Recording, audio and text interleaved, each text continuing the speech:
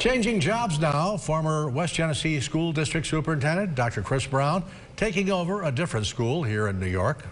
And the Marcus Whitman Board of Education in Rushville, New York posted on its website that Brown has been hired as their next district superintendent. Rushville is just east of Canandaigua Lake.